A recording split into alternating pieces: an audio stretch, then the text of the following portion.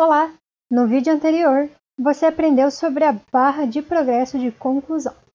Na UFPR Virtual, os professores podem utilizar as ferramentas contidas no próprio ambiente virtual de aprendizagem para a criação de conteúdo para as disciplinas, como as atividades e os recursos. Neste tutorial, vamos conhecer mais sobre as atividades. Vamos começar entendendo a diferença entre atividade e recurso. As atividades permitem que o professor crie tarefas e forneça uma nota para o aluno a partir delas. Já os recursos não são avaliados e normalmente são um apoio ou um complemento aos conteúdos que o professor utiliza. Quando o professor cria uma atividade ou recurso na UFPR virtual, ele pode estabelecer alguns critérios de conclusão de atividade para os alunos seguirem. Veremos agora alguns exemplos de atividades, como questionário, jogos H5P e a tarefa. O professor geralmente escolhe habilitar a opção de conclusão que requer a obtenção de uma nota para marcar essas atividades como concluídas. O questionário permite criar e configurar questionários com questões de vários tipos, incluindo múltipla escolha, verdadeiro ou falso, correspondência, resposta curta, entre outras. O professor pode configurar para que o questionário seja concluído após o aluno receber uma nota, se o questionário possui perguntas abertas. A atividade só aparecerá como concluída depois que o professor corrigir suas questões. Após salvar todas as respostas, não esqueça de clicar em Enviar tudo e terminar. Depois, confirme. É muito importante você fazer a confirmação para não deixar o questionário aberto. O H5P é um módulo de atividade que permite que os professores criem conteúdos interativos para os alunos, como vídeos interativos, conjuntos de questões, questões de múltipla escolha, apresentações e muito mais. A configuração mais comum que os professores utilizam para este recurso é de que, para concluí-lo, o estudante precisa responder as perguntas e receber uma nota.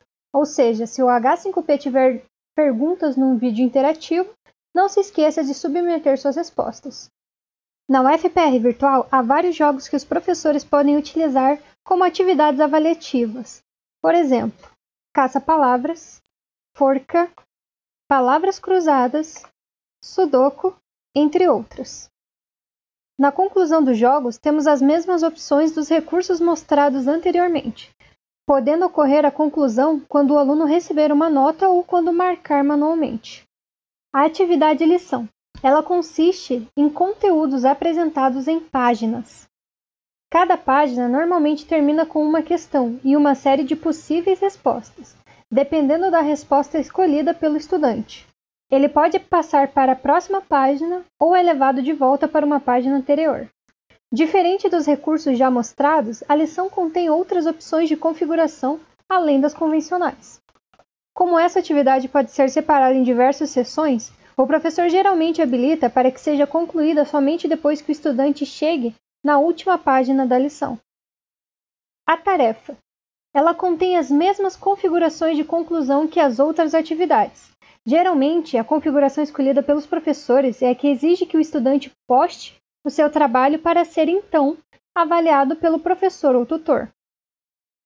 Mas o professor também pode escolher que a conclusão ocorra apenas após o professor dar uma nota à tarefa.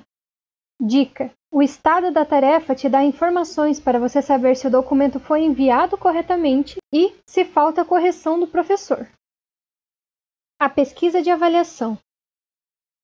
Ela fornece uma série de instrumentos de pesquisa validados que têm sido úteis para avaliar e estimular a aprendizagem em ambientes online. Como é uma pesquisa, o aluno só irá concluir após enviar sua resposta. Vimos neste tutorial sobre diversos formatos de atividades que podem compor a disciplina. O aluno pode acompanhar as atividades na barra de progresso do curso. Não deixe de conferir o tutorial sobre os recursos.